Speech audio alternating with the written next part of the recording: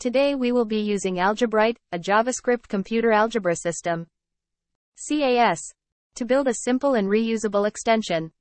The library will we be loaded automatically by using the upper script command.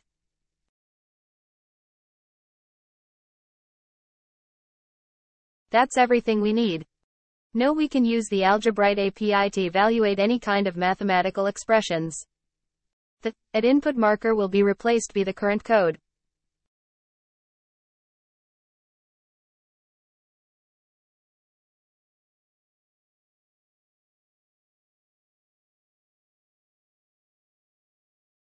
Of course it will not support the entire KaTeX syntax for formulas.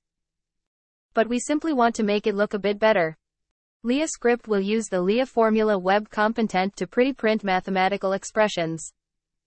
Additionally, there is a shortcut. If your library needs to output HTML to the LiaScript console, you can use the following command.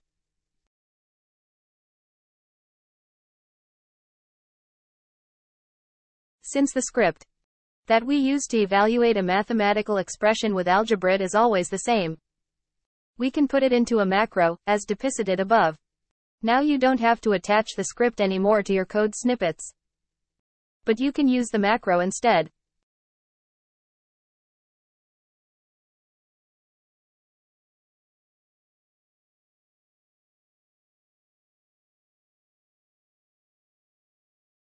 Move the macro into your main comment and you have created a LiaScript extension that can be imported into other documents and reused.